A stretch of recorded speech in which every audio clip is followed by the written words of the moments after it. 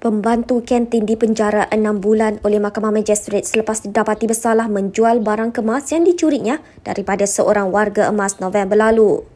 Tertuduh Nazrini Syuhada Abdullah 27 tahun mengaku bersalah terhadap pertuduhan yang dibacakan oleh jurubahasa di hadapan Magistrate Muhammad Fitri Mokhtar.